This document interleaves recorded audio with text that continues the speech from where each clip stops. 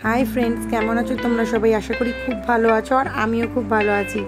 আজকে আমি অনেক দিন পর ভিডিও পোস্ট করছি, মাঝখানে সময় একদম বাইনি মেয়েকে নিয়ে খুব ব্যস্ত থাকি।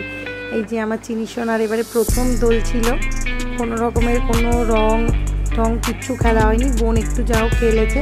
আর বাড়িতে এই যে দেখতে পাচ্ছ আবিরগুলো, এগুলো হোমমেড বানিয়েছি একদম হার্বাল কর্নফ্লাওয়ার দিয়ে। খেলা হয়েছে একটু একটু করে, কিন্তু আমি একটুও লাগাইনি, আমার মেয়েও একটু লাগাইনি। এই দেখো ঠাকুরঘরে দিদির সাথে বসে ফটো তুলছে। আবিরগুলো ধরার চেষ্টা করছে, কিন্তু ধরতে দেওয়া তো উচিত নয়। যতই হারবাল হোক, তবুও ভয় লাগে বাচ্চা মানুষ। দাদুর ঘরে একটু দিয়ে আমরা একটু ফটো তুলছিলাম। দেখো সবাই কি সুন্দর দেখছে রঙের দিকে।